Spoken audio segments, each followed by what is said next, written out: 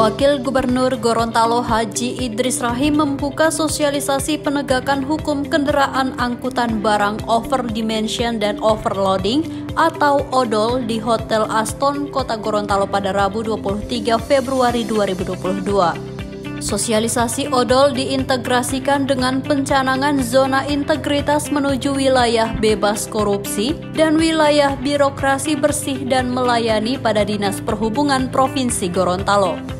Overdimension adalah suatu kondisi di mana dimensi pengangkut kendaraan tidak sesuai dengan standar produksi dan ketentuan. Sedangkan overloading adalah suatu kondisi di mana kendaraan mengangkut muatan yang melebihi batas beban yang ditetapkan.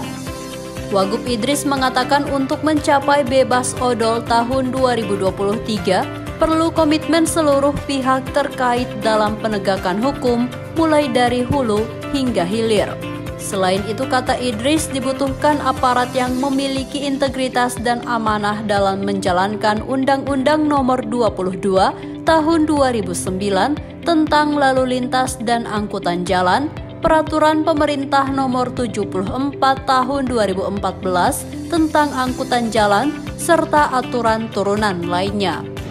Kejadian-kejadian kecelakaan lalu lintas yang viral saat ini menyadarkan kita akan bahayanya kendaraan yang beroperasi tidak memenuhi sesuai dengan ketentuan yang ada dan juga tidak sesuai dengan persyaratan teknis dan laik jalan.